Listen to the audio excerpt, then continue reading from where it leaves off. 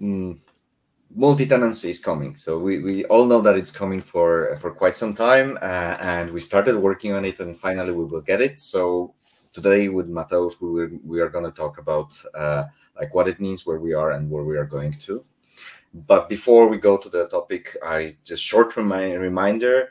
Airflow survey is up, and we are looking for all the feedback from uh, from from users and uh, questions and like explaining how they are using Airflow. It's like super important for us to get as much as many as many input as much input as possible. Uh, few words about about us. Uh, Samit already told i'm the pmc member and uh, independent open source contributor and advisor for airflow look doing a lot of stuff and in, in in airflow i'm also a member of apache software foundation uh, which i'm very proud of uh, mateusz yeah, and my name is Mateusz Henc, and I work as a, as a software engineer at Google in Warsaw office. And for the last two days, I have been part of the Cloud Composer team, which is a Airflow managed on managed Airflow on uh, GCP. Yeah. Uh, okay, so let's move on. So why do we even need multi-tenancy? So we see a multi-tenancy as a way of having a private space in Airflow installation for, for, for my DAGs which means I can see and change only DAGs that I own and execute them independently uh, from others. Uh, uh, of course, one solution is to have a dedicated Airflow per person or per team, but instead of uh, supporting hundreds of Airflow installations, you would rather share them somehow. Uh, when you do that, you start seeing problems. For example, your colleagues' DAGs PyPI dependencies conflicts with yours, or you notice that your tasks that consume a lot of memory and crashes sometimes causes other tasks to fail as well, especially if you use, for example, a Celery executor. Uh, secondly, each Airflow environment brings some costs and requires database, disk space, memory, CPU, etc and usually you don't, don't utilize them in, in 100% for 24 hours, seven days a week. So from cost perspective, it is, sounds reasonable to share the Airflow installation to better utilize it and split the cost among like, many teams. And finally, if you're an administrator, then for sure you prefer to maintain a single or just a few Airflow instances than hundreds. And think about tasks like upgrades to, to newer Airflow version, changing PyPI dependencies, or applying configuration changes. So where are we today? Can't we achieve this with, with just the features that we have right now? Uh, like, can't we just assign permissions to, to in the UI and in Airflow web server has a role RBAC, so we can control which person sees which DAGs well, uh, we can, but it also only works on it's a view on DAGs, so we cannot really control the access to those DAGs for for and people people from different teams can theoretically change other DAGs. Okay, then we can put different DAGs in different subfolders, assign proper permissions there. Uh, yeah, why not? I mean this is good start and some people are doing that. Uh, uh, but you know like when the tasks are executed the workers are actually executing them in like randomly. Like one worker can execute tasks for many different uh, teams and they can override each other data and uh, and impact each other okay but i think this could be restricted with cluster policies right? Very good idea. And there was a talk about that like uh, shopify uh, uh, sam and megan they talked about that like so look up this talk before like this was like yes day before yesterday. They've done exactly this and that's perfectly fine. And it works as long as your users are friendly because everyone in airflow has access to the database every DAG writer right now and you can modify the database and do whatever with it uh, what that you want you can drop the database so it's not as isolated as you would like it to be.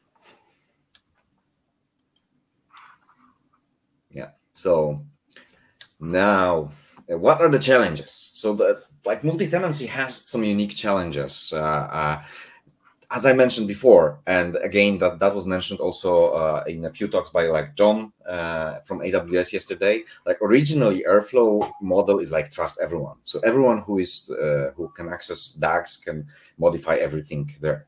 Uh, multi right now, uh, multiple teams can run Airflow, but they need multiple Airflow installations. Uh, all DAGs uh, are in a single physical location, so single shared folder uh, that all the DAGs have to be there and have to be accessible by, by everyone.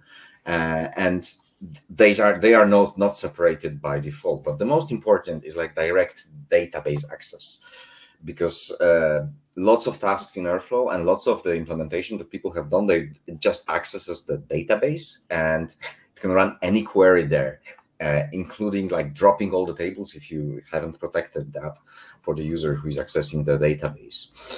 Um, another challenge is that there is no real isolation between the DAGs and tasks and Airflow code. So everything is together and uh, you can actually run uh, a code of DAGs and tasks uh, at the same you know, processor, the same machine that the Airflow code is run. And this code can be written by anyone who who can who can access who has access to the to the to write the DAGs. And finally, the access to the database is not uh, really fine grained. So once you get access and once you once your task can modify its state, it can modify state of all the other tasks. So the isolation there is is completely missing, and that's by design. Uh, and finally, and this is something that is really important for like audits and security, uh, there is no fine-grained access to the secrets. Airflow requires secrets to communicate to external services. And again, once you have access to secrets, you have access to all of them. So any task can read secret that any other task needs. There is no fine-grained uh, separation. So what's the way forward and uh, path to multi-tenancy? Mateusz. Yeah, before we move to the details, let's talk a bit uh, about the approach we take to solve uh, these problems or to work on these problems. Uh, so instead of spending, sorry, instead of spending months or, or years on fixing all these issues at once, uh, we split the, the, effort into smaller steps. They are we already planned few of them, but we uh, will talk about it in, in a few minutes, and uh, work on them uh, one by one. Uh, everything we introduced must be non-breaking change, uh, at least until we introduce Airflow 3.0. Uh, but for 2.0, if the feature like this a breaking change or change changes the, the, the behavior, uh, then it is uh, opt-in feature. So you can enable if, if you need it, but by default it's disabled. And uh, every step must be delivered, must deliver the feature that is usable. So even though it is just a part of the, the, the whole roadmap toward, towards multi-tenancy, it still must bring some value. And yeah, of course, even though we have ideas uh, and even some plan, there are still some gray areas, and uh, we are open for any comments and any suggestions. And of course, any help is more than welcome. As you can see, as you will see soon, uh, there's still a lot of uh, to do. Uh, yeah, so every step we, we take follows these principles. So we don't want any big bangs. If step can be split into smaller features, then we do it. And we use feature flags, uh, usually a new configuration option in Airflow to enable the feature, making sure the uh, change is neutral uh, to Airflow if flag is disabled. And we cooperate with many stakeholders. As I said, I am from Google but there are folks who are engaged in this effort from Airbnb, Astronomer, Cloudera, or Amazon. And we run semi-regular meetings to provide status updates and also discuss about new ideas or open topics. Uh, we have recordings and meetings notes from previous one. I think you should be able to find them on Airflow dev list if you are interested. Okay, so let's move forward. Uh, when we first started to think about this topic in Google, uh, we really didn't like the mixing execution of Airflow code and DAG code, and the fact that all the components has unlimited access to, to the database. And uh, yeah, soon we found that the community shares similar concerns. Uh, so we found that we can split the components that, that are in Airflow into two groups, trusted uh, and untrusted. Uh, for trusted, we categorize any code or any component uh, that comes from the Airflow community. In Google, we can do security, privacy review on it before we publish it for, for to and integrate with our product. Uh, it means that it can't mix uh, the code from, from Airflow and any custom plugins or PyPI package. And this component shouldn't even have access to DAG files and not to even try to open and execute them even by, by, by mistake. And uh, finally, as the code is fully auditable, uh, it seems safe for it to have access to Airflow database because we are sure what the what the, what the code is executed and uh, what change it brings to the uh, Airflow database. On the other side, we have uh, untrusted components, which executes user code or custom plugin PyPI packages. To run DAGs, they of course must have access to the uh, DAG storage, but on the other hand, the access to Airflow database should be limited. Uh, when we discussed it with the community, we found that there may be different definitions of what is trusted and what is untrusted. Uh, for Cloud Composer uh, or any, I believe, managed Airflow uh, service providers, only the community code is considered trusted. So nothing that comes from the end user, even, even if it's end user administrator, so code like plugins, packages, and that, that they can't be considered trusted from Google perspective. We found that there are like three problematic features. Timetables, which are executed in scheduler, uh, which other than that is, is trusted. Uh, trigger with a custom trigger definition and web server plugins. This either must be blocked for user configuration or made untrusted. From user perspective, uh, there are two personas, Airflow admin that is able to install runtime Py, uh, plugins and PyPI uh, dependencies, and DAG author uploading the code. Yeah, on the other side of this, uh, uh, we have standalone Airflow and Jarek. Yes, so uh, I'm representing the the other uh, point of view where we have just uh, somebody managing the installation of Airflow, and then the separation is, is easier because you have an Airflow admin who can manage the, who can manage the timetables, triggers, web server plugins, and the runtime plugins and packages and DAG authors are only uh, can only manage the DAG code, and they cannot access any of those. So this is a little bit simpler, uh, but that's that's where you have like on-premise installation uh, rather than um, a managed managed one. Uh, okay, so there are various degrees of multi-tenancy. And you will see that the, the whole multi-tenancy is is very layered approach. Uh, the deeper we go the, the more complex things we have to implement. So for now what and this is have this is done now. So this is something that we can use now into 3.0 we, we completely separated the access to the admins and separate and their dag authors code. So the, you can uh, make sure that that the dag code uh, is never executed in the same context as the Airflow code. Uh, this is something that is already done with the, uh, what, what Mateusz will tell in a moment. Uh, the next thing, the next level of separation is like you know, when we have different teams, each team would like to probably use different dependencies and not like because they want to run different kinds of workloads. Uh, and this is not something yet done but this is the another layer of, uh, of getting deeper into the multi-tenancy stack uh, the next step is like direct no direct access to the database uh, for DAG authors so they shouldn't be able to access database directly. So this is like then uh, the multi-tenancy becomes like more and more secure with every every of those steps.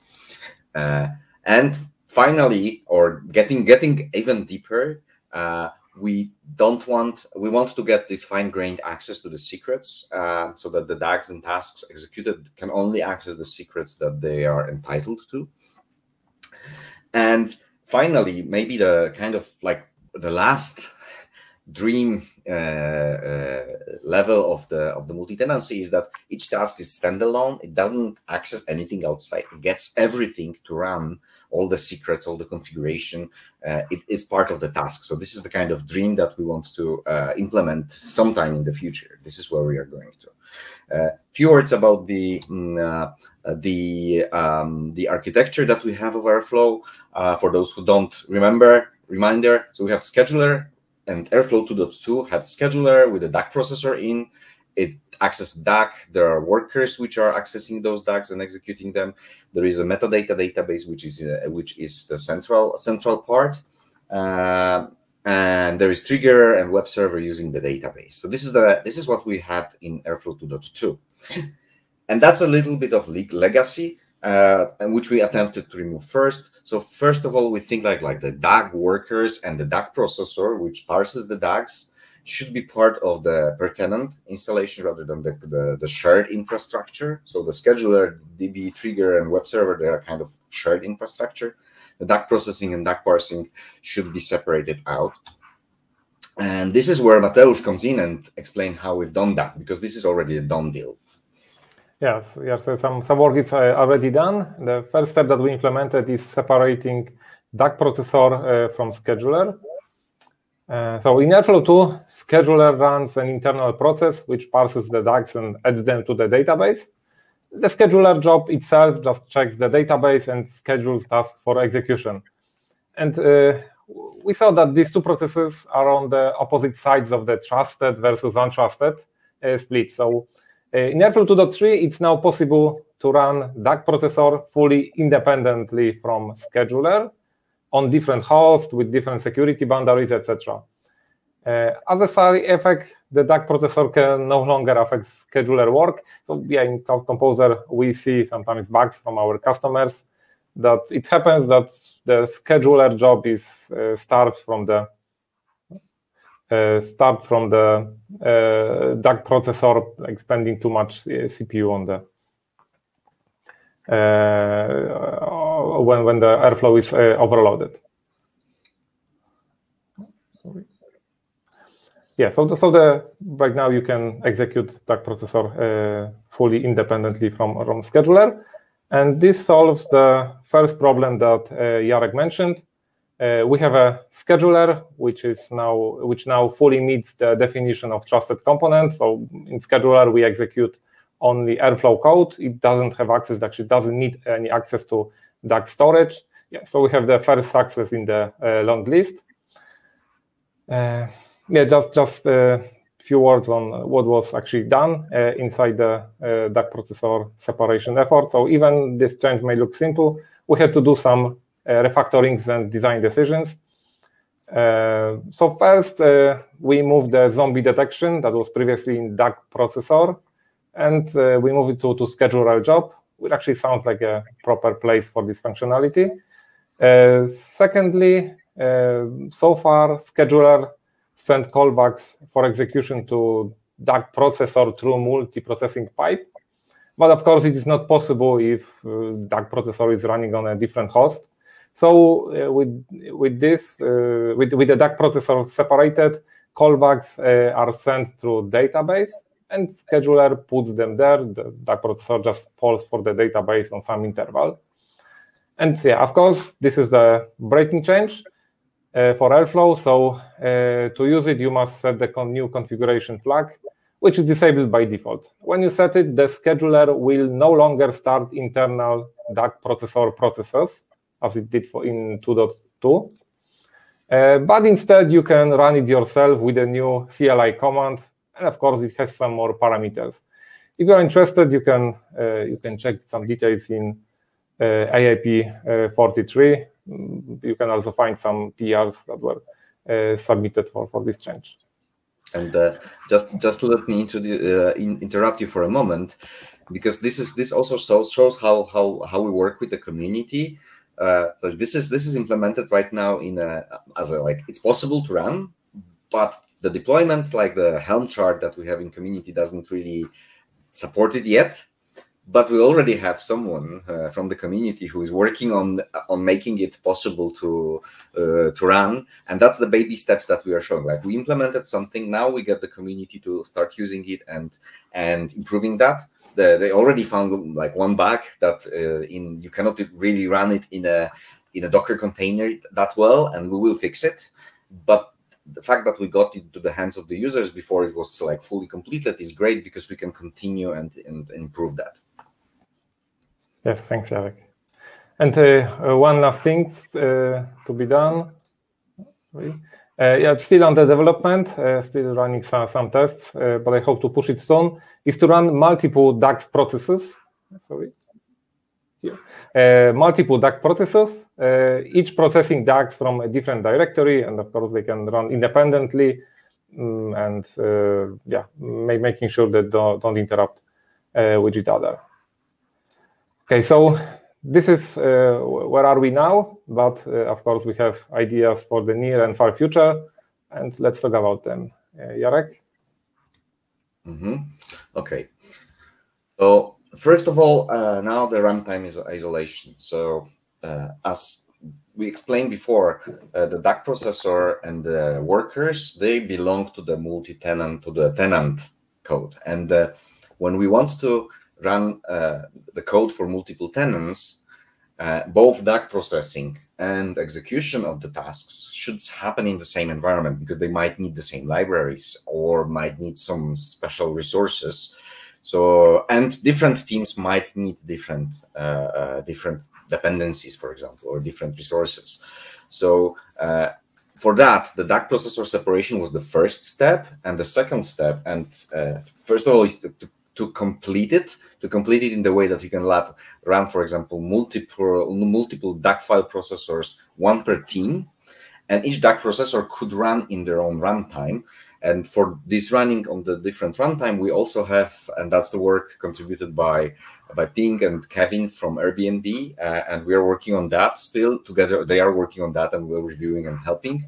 Um, is to make sure that uh, the same task can be parsed and executed in the same in in in, in the in different runtime in like a separate Docker container basically. Uh, so we are working together, and this is a true team effort. So when we combine this separate DAG processor and Docker runtime, uh, it will allow for separating the environments, separating the the way how the DAGs are uh, or the, the libraries that the, the DAGs are parsed and executed, and and the same uh, Docker runtime will be shared between processor and worker. This is the easiest way how to make sure that uh, those those are separated. This was like common ask, maybe not super related to the multi-tenancy, but common ask like how we can make sure that okay, these tasks run with those dependencies and that task with and with those dependencies. So this Docker runtime and the DAG file processor separation together, they will allow that per team. Yeah, and that's the kind of that great great level of that. And uh, the thing that like it's theoretically it's possible even now if you would like to configure it, but it's not easy to configure. You would have to really do some fine tuning and and and your own um, rules that you have to set on writing the DAGs. So the idea is like that we want to implement it in the way that it should be easily configurable per, per tenant. So you should be able just to say, okay, this task, even particular task, should be executed in this environment and this in that and and that should be working out of the box. This is this is the goal that we want to achieve. So once we do that, and we don't know when exactly this will happen, we, we are aiming for these baby steps and, and, and gradual implementation. Once we do that, we will be able to achieve something that uh, that is the first step, like separating uh, actually tenants from each other. So you, you will have multiple tenants that uh, will be able to manage their environment separately, or the, the environments can be managed for them. Actually, uh, the next step, and this is the this is something that I was mostly uh, designing together with Mateusz and the Google team uh, initially, uh, or till today, uh, is the database isolation. As we all know, and we repeated that before, every tasks have access to the whole database and that's not good. so we what we want to want to do is like make sure that workers and DAG processors, so those things that belong to the tenant, they can only access database for very uh, selected operation and selected part of the, of the of the database, and only perform operations that we want it to execute. Uh, so we introduced the concept of internal API, uh, which is different than the REST API. Uh, they might run in the same uh, like web server, but might be also separated, but they are a little bit different because they need a little bit different properties.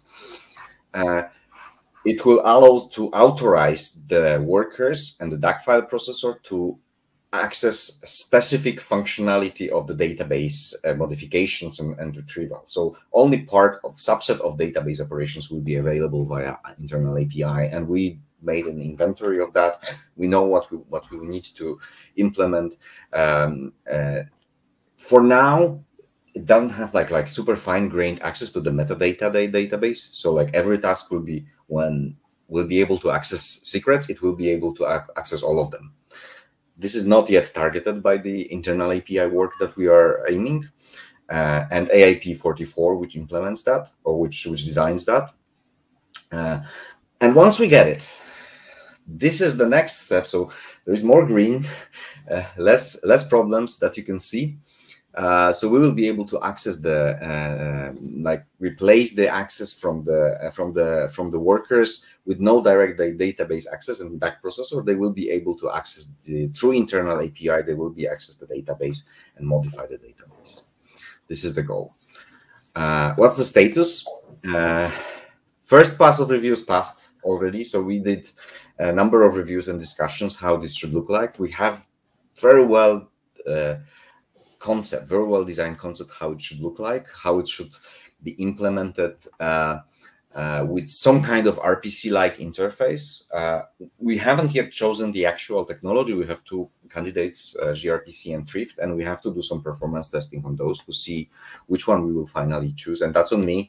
Uh, I've been I've been a little bit delaying that because of the huge amount of work that Ash was talking about with uh, with 2.3.0 with dynamic task mapping we didn't want to add even more complexity to, to make it to make it even more uh, potentially uh, pot even more potential bugs to fix. So right now we are going to uh, increase the efforts now and do this uh, continue this proof of concept and implement implement uh, the the rest of that.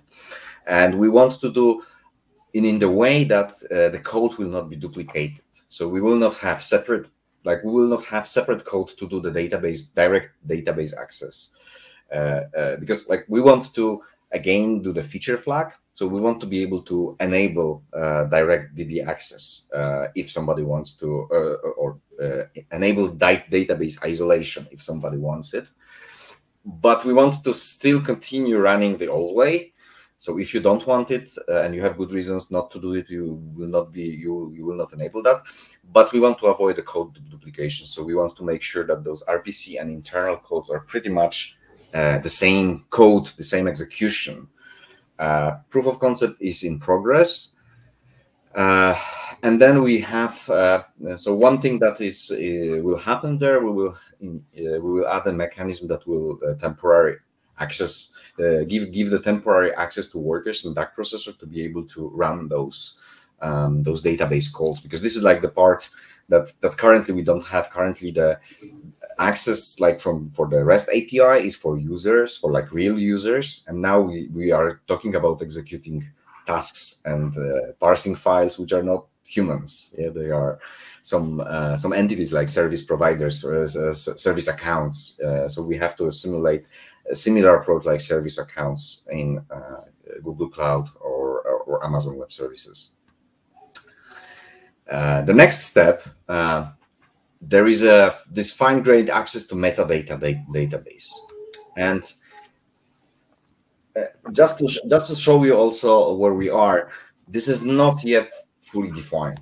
We discussed like we know we have ideas, we have uh, like we know how this can be done, but we haven't made the decisions because we just want to uh, do it gradually and uh, discuss in more detail when we are closer because we don't want to get you know discuss it and like do half a year later start implementing that um, so discussions must must still happen. Uh, the temporary tokens will for sure be used. So what we we uh, implement now in AIP 44 will be the, the kind of base to implement that. But the the idea is like that. Uh, whenever task is executed, it can only access the resources that are needed to execute that particular task, and that might mean different things. So, like one thing is like um, uh, the DAG task background XCOM so those are the, the kind of, let's say, Airflow runtime. So we want to make sure that the task cannot modify status because like if, if you know like how Airflow works under the hood, there is like this mini scheduler running in the task at the end, for example. And it can schedule uh, follow-up tasks after your uh, after you um, finished your your job. So actually tasks uh, under the hood can access the uh, internal runtime and can modify the internal runtime. So we want to make sure that in the future, those tasks can only actually do the job of, uh, that they are supposed to do and not like currently you could potentially uh, from the task uh, schedule task that is completely unrelated yeah, or modify the status of another task, which we don't want to do. Uh, or write an XCOM entry for another task. Pretend that the task was right, it was doing like produced some data. Yeah, that's that's a bit scary, but we want to uh, want to get rid of that. So make sure that the isolation is on the fine-grained access that you don't access the or don't don't change the runtime that you shouldn't supposed to. Uh, initially, it will be no uh, secrets isolation separation. We don't know yet exactly how to do this secret isolation. There are several ideas. So either you could do it also by accessing specific secret, or and that's that's another and and I re, I think it's a very very powerful and and and good idea. I think is like that when task execute they already have those secrets that they are accessing uh, with them. They don't have to reach out to get like configuration. They will just be started and they know already what kind of secrets uh, they should access because it was done before. Like those those secrets were, were retrieved were retrieved before when the task is executed, and that goes very well. Uh, and that's something that we haven't defined yet, but that goes uh, hand in hand. And yesterday, uh, Andrew Godwin, Goodwin, he was talking about deferrables, deferrables, and the way how we are thinking about the future of Airflow and deferrables. Uh, and uh, like part of this, like like isolated workloads or workloads that you can just submit and execute, and and that that comes very well here. The ideas are there. We don't know the details yet how we are going to do that, but at least like we have some good ideas uh, that this is the direction we want to take. Uh, so yeah, that's uh, that's the resources. Uh, so right now, the challenges with this fine grained access to those resources, like how to map particular DAGs to particular secrets that you need. Uh, like you don't know exactly. Uh, you have to parse the code, the Python code, to understand which uh, which resources will be used. And sometimes, if you want to dynamically retrieve them, then probably you have to execute the code actually to, to know that. So we have to limit these capabilities a little bit, but on the other hand, make them they, them um, controllable. And that goes also hand in hand, and that's why also like implementing it now makes little sense. It go, goes hand in hand with the uh, the future of Airflow, which is the, the data lineage and understanding which data sets you are operating on, because data set is intrinsically connected with the uh, with the authorization that needs uh, needs to be done. Uh, and then if you know that your task is, is, is using particular data set, you know which authorization you need. And that this will this information will be available. Is not yet like not easily parsable but uh, when the data lineage is implemented uh, uh, and this uh, this these concepts uh, are, are, are implemented it will be much easier. That's why it's also like deferred for later uh, deferred yeah. So we could actually see like um, go together with the overall vision for airflow and and make sure that we are not implementing something that will be incompatible with the, with, with the other approaches. So this is this is something that we it will, it will likely require some changing of the DAG definition, uh, but that goes again with the data lineage uh, approach, uh, likely. And again, it's not finalized, so uh, any well any input is welcome. Any discussions, we will be discussing that on the dev list on the calls for sure for the next uh, years, uh, I think, or months at least. Uh, so we will require some kind of tenant entity for the database. And again, as I mentioned, embedding the credential in the workload is probably something that we, will implement eventually. Like that, that sounds like that sounds like a great idea. That you can just submit a workload and have everything you need to execute it because because then you can kind of package it and then whenever you execute a, a, a, worker you don't even have to have access to any you know database anything. You just have everything you need to execute it. This is this is actually quite cool. So uh, when you have this fine grained access to resources uh, the next step so the next green talk green ticks. And we are we are very very close to the final goal goal. Uh, i think the last part uh, which we haven't discussed yet at all almost is like currently you do have some ways of how to uh, make your DAGs only available in the UI for uh, for this uh, user and not that user, but it's nowhere close to what I would imagine it, it, is. Like you should be able to say, okay, this DAG uh, or this task uh, or this DAG actually is available only for this tenant. That's it uh, and that for this tenant. It's not there right now. You have to do some complex permission settings and like you know synchronization of permissions, maybe connected with your uh, LDAP or group configuration, but it's far from straightforward. And some uh, yeah, we actually in Cloud Composer uh, we are about to launch uh, the, actually the, feature like that, like that. It's called per-folder Auto Registration, you may check the release notes for the like upcoming releases to actually uh, see it coming. Uh, and uh, yeah, actually assign the permissions based on the on the folder and uh, properly uh, like sets which which user groups have access to them. And we based our approach on DAG policies, so that there's some some custom uh, custom code there. But of course, we'll be very happy to integrate with any Airflow native solution if, if it exists.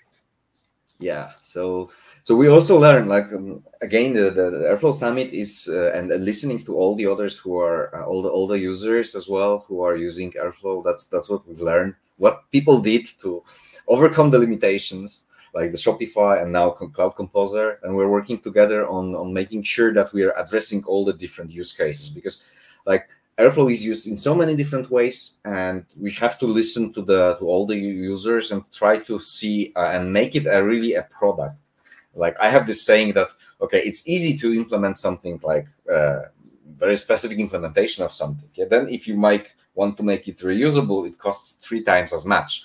Then if you make it a product, then it's like three times the three times, which is like nine times as expensive. Uh, to do so we have to do it right because we know it's going to cost a lot of uh, effort to implement it and we want to make sure to learn from from all the users who wants to use it. And that's why you know asking questions, and I see a lot of question coming about the multi-tenancy and people explaining how they are uh, planning their use cases. We want to listen to that for sure. It's not like we will not we will not tell you like it's there, um, like it will be there. Uh, like we will we are listening, but getting the feedback is, is super important. Listening to what others are doing. So no AIP yet some challenges again mapping DAGs and tasks to, to, to user groups or tenants uh, something that composer did on the uh, looking at their own IAM implementation I guess uh, interacting with the with the Google Cloud platform uh, authorization and authentication mechanism a permission management uh, it will likely require some changes in the DAG definition again we don't know but likely we have to somehow make sure that the particular DAG is assigned somewhere, maybe in an easy way. Like you know, we have those decorators. We we we experiment with different. We can experiment with different approaches and see which will be the easiest to use and easiest to uh, to modify in the future. Uh, and some kind of tenant entity we need to we need to have because we don't have it right now. We don't have like a group of people. That there is no such concept really in in, in Airflow yet. And so once we get there, well, all is done. I mean, hopefully. So we will get a really fully multi-tenant solution that you will be able to implement uh, and get some separation, both the security on the tenant level, on the execution of runtime, but also on the like accessing the database, also on the accessing the information about the like the about the DAGs themselves from the UI, uh, and fully trusted components like scheduler, database, trigger, and internal API, which will be able to access efficiently the database and uh, and be able you will be able to manage them centrally, while the rest will be uh, not only isolated in terms of security, but also isolated in terms of runtime environment, uh, means dependency, but also, and that's something that we haven't mentioned, but it kind of goes uh, hand in hand with what we discussed, is like if you have this separation and if those are separate processes, separate runtime, then you can also make sure, and this this is uh, this is something that also our users were mentioning a lot,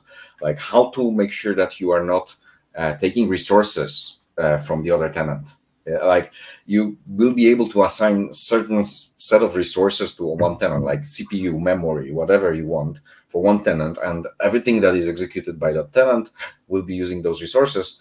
The other tenant will be using their own resources and then uh, you will be able to manage them them separately and they will not step into each other's toes. And that's uh, that's the kind of uh, great thing for both companies like uh, like uh, composer astronomer uh, AWS who are running managed service, but also great for uh, anyone who like Shopify uh, manage it internally for their own teams on premises and want to also manage effectively different teams.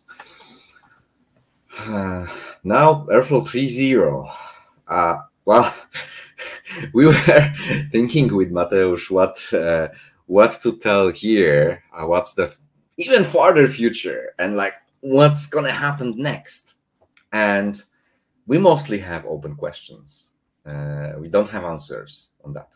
Uh, and a lot of discussions there uh, were also happening, are also happening right at the dev list. So Rafael Biegacz from, from Composer team, uh, he, he started a thread um, last week about like the, the DB isolation, like there are some users who are accessing uh, uh, who actually want to access the data uh, base directly. They have some uh, queries they wrote. They have some uh, cleanups and like what what not. Like it's there. If we disable the isolate, if we enable the isolation mode, uh, well, they won't be able to do that. They they will have to do it through the REST API.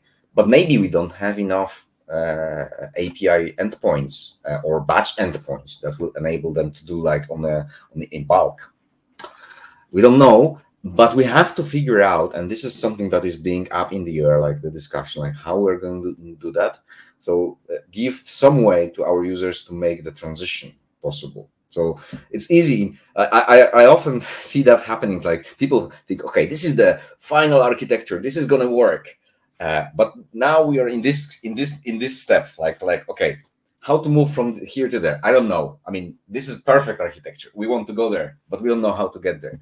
I think this is like our goal also, or our task to figure out um, the transition and the the journey of people from using the traditional way, like direct access to the database, into the, the isolation mode in the in the way that it will allow them to transition also progressively and smoothly and without you know like big bang. Yeah? Because this is this is this is not something that is happening in in reality. You don't expect people to make a big bang approach. We've learned that with airflow 2 which was like a huge migration. And people still after two years some didn't migrate because they are afraid of the big bang. And we don't want to do that. Uh, so uh, question is like, should we have continue keeping the feature flag to enable, disable that in the future? Or should be multi-tenancy by default? We don't know. Uh, we think, well, we don't know. Like this is completely open question. Like how much, how much of this multi-tenancy is really a common task, and how much, how much people would, would benefit from keeping it simple and without the multi-tenancy? maybe both solutions will be uh, will be good at the same time and just keeping the feature flag. We don't know. We will we want your feedback as well once we implement that. This is something that we want to hear our users. Uh, and uh, finally whether we want to uh, allow people to opt out from that it's a bit uh, i I think it's more like 4-0 question, not 3-0, because I don't think opting out in 3-0 would be even even possibility. But let's see. Uh, let's see how uh, what our users tell us. Okay, that's uh, that's it. We are, I think, on time. Uh, now time for Q and A. And reminder, survey. We want to hear from you. We want to, you know, know how you want to use Airflow, how you're using it now, what you missed, everything you can ask and answer the question, question questions and give your own feedback uh, in the survey.